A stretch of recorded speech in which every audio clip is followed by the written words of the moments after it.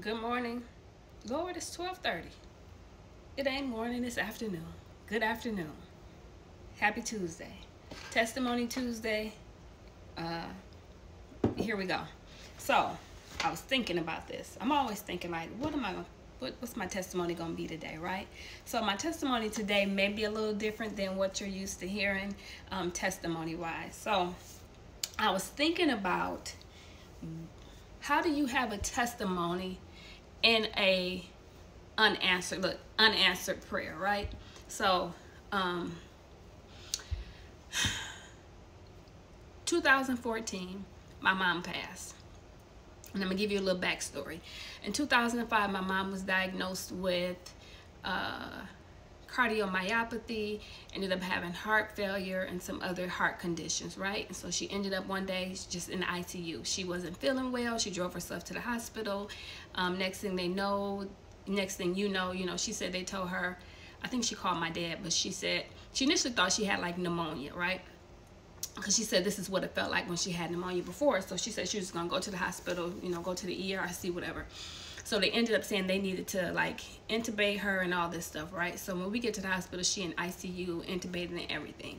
So she ended up with this diagnosis. They don't know where it came from. All they can say it, it was viral. A virus attacked her heart and she ended up with this, you know, this diagnosis of cardiomyopathy um, and heart failure. And heart failure ultimately goes through stages. You get to the place where you would be considered to have end-stage heart failure and you probably need a heart transplant. So my mom dealt with a diagnosis of heart failure for many years. And she lived pretty good, you know, a pretty good life. Um, even with this diagnosis, she did her um, cardiac rehab. You know, she lost some weight and things like that. Um, and so 2014, it got to the point where when you have heart failure, um, I'm gonna try to make it as layman as possible, everyday conversation. When you have heart failure, ultimately heart failure is the result of something else. So your heart heart failure just means that your heart isn't able to meet the body's demands. Your heart isn't able to keep up with the needs and the demands of your body. You can have left-sided heart failure, right-sided heart failure. It just depends. You can have both it's just what it is. So she needed to have this uh, device placed. It was called an LVAD, left ventricular assistive device, and it was going to help the left ventricle pump heart, I mean pump blood out to her body, right? So she needed to have that done, but she really needed a heart transplant. So she was at U of M a couple of weeks before um, the heart, the you know, the procedure. They were preparing her to have this procedure done, to have this LVAD placed. So she ended up having a surgery. The surgery took a lot longer than they expected. Um, you know, we're praying for her, right? We're praying for her. We believe in God. You know, the word of God says, you ask things in my name, you shall receive it. You believe it, it should be yours. You know, I'm paraphrasing, but right? And so we praying, for, we praying, we trust in God that she going to be good, that she going to get this, um, this device placed. They're teaching us how to care for it. She's got to have someone with her the whole time for the, you know, initially to switch out the batteries. And they're just showing us and teaching us, me and my siblings, how to care for this device and everything. Um, my mom ended up having a stroke and just some other stuff going on. And ultimately, she wasn't getting better. And we had to make a decision, you know, what we were going to do. So my siblings and I, when we sat down with family, we decided that, you know, it would be best to like take her off life support. And that's ultimately what this these machines were doing. They were keeping her alive because when they turned the machines off she did pass.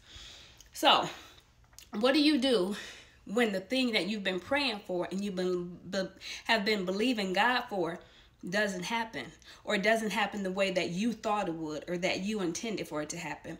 We prayed and we trusted god and we believed god would heal her but she passed. So what does that look like? You say, Toya, how is that a testimony? My testimony and my belief is that my mother received her healing.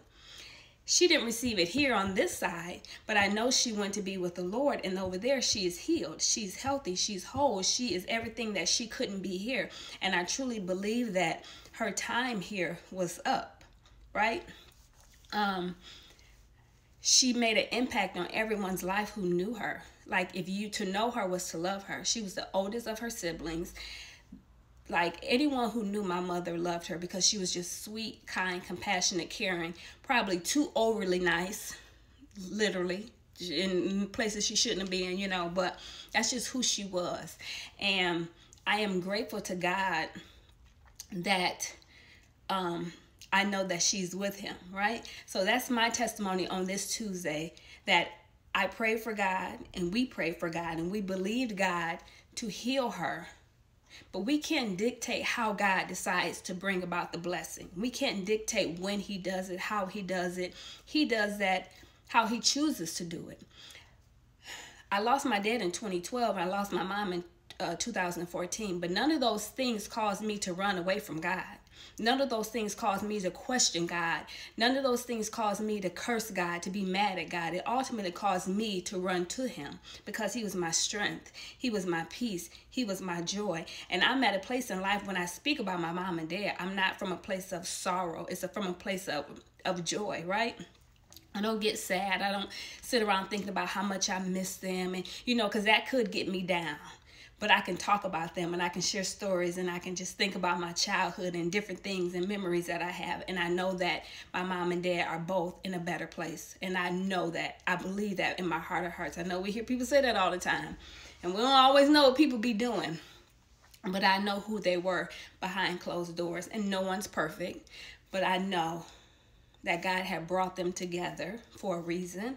I know that the love that they shared was unmatched. I know that they're both in a better place. I know that they both received the healing that they that that we sought God for for them. It just didn't happen the way that we thought it would happen. You know, it didn't happen the way that I thought it would happen. So I just wanted to share that today with you all on this testimony Tuesday. Um, that's my testimony. I prayed for healing for my mom, and she got it, even though it wasn't the way I wanted her to get it. Excuse me. She would have been. She would have turned 70 last year. So I would love to still have my mom here. Um, you know, it's nothing like being able to go to your your parents' house and just sit on the couch or just just you don't have no concerns about nothing when you're at your mom and daddy house. Okay, so I wanted to end this or put this set of scriptures here um, as I share this testimony Tuesday with you all. So I'm coming out of Second Corinthians um, 4, verse 16. I'm going to read four, verse chapter 4, verses 16 through 18. And it says, the set of the scriptures is titled Living by Faith. So we do not give up. Our physical body is becoming older and weaker, but our spirit inside us is made new every day. We have small troubles for a while now, but they are helping us gain an eternal glory that is much greater than the troubles. I know she got her eternal glory, right? We set our eyes not on what we see, but on what we cannot see. What we see will last only a short time, but what we what we cannot see will last forever.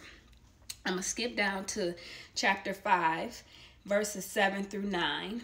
We live by what we believe, not by what we can see. So I say that we have courage. We really want to be away from this body and be at home with the Lord. Right? That's what we that hopefully like this time that we have here on earth is short. It is short, but afterwards, eternity is forever. So please make the decision in your life today that your eternity would not be away from God, but be with God. The the the uh the um the um the God of heaven. When I'm thinking the most high God, that God, right? So I say that we have courage. We really want to be away from this body and be at home with the Lord. Verse 9 Our only goal is to please God, whether we live here or there. So that's my testimony today. I prayed for healing for my mother, and she got it. She just didn't get it in the way that I thought she would. Because we all just knew she was going to come up out of that hospital. We were going to take her home. We were going to care for her. She was going to get on the transplant list. She was going to get her heart, and she was going to be here for some more years. But that wasn't God's plan for her. And we all know in Jeremiah 1 and 5, the, uh, I believe it's 1 and 5, it says, for I know the plans that I have for you. Nope, that's not it. What did it say? Jeremiah 1 and 5. For I knew you before I formed you in your mother's womb. Something like that. That's what it say. Let me see. I'm going to tell it to you. It says, Before I made you in your mother's womb, I chose you. Before you were born, I set you apart for a special work. I appointed you as a prophet to the nations. Everybody has a story to tell, a testimony to tell, to share the word of God with people. But when your time is up here, prayerfully you'll spend eternity with the Lord. So that's my testimony today. I pray it blesses you. Know that I love you, that God loves you, and I talk to you later.